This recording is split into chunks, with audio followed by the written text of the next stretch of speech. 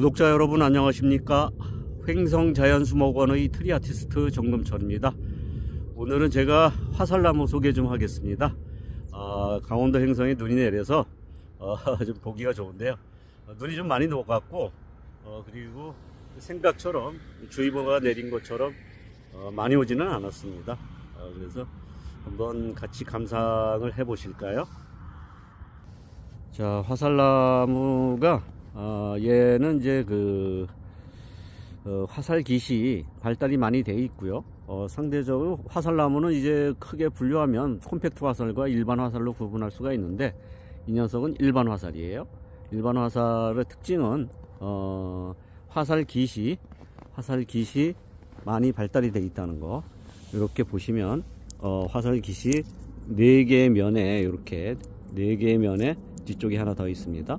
이렇게 해서 4개의 면에 이렇게 발달이 되어 있고 3개, 4개 이렇게 발달이 되어 있는데 아, 콤팩트 화살은 밋밋하죠. 여기 위에처럼 얘처럼 이렇게 밋밋하게 나옵니다. 그 일반 화살에 비해서 그 차이점이 있고 어, 단풍의 차이는 그 일반 화살에 비해서 콤팩트 화살이 조금 더 진합니다. 그래서 세계 3대 단풍나무 수종 중에 들어갈 정도로 화살나무는 아주 단풍이 화려합니다. 그래서 정원수로는 아주 제격이라고 할 수 있고 이렇게 이제 독립수로 키운 경우에는 어, 지금 얘 같은 경우에는 지금 20점 정도 됩니다. 근경이. 그래서 수고는 약 한 2m 정도 되고요. 그래서 그 뭐 관목은 어, 기준이 수고를 기준으로 했을 때 2m 미만 어, 물론 2m가 넘어가는 경우도 있지만 2m를 기준으로 해서 어, 관목과 교목으로 구분을 하는데 예, 얘는 이제 관목 중에 대표적인 관목이라 할 수 있고요.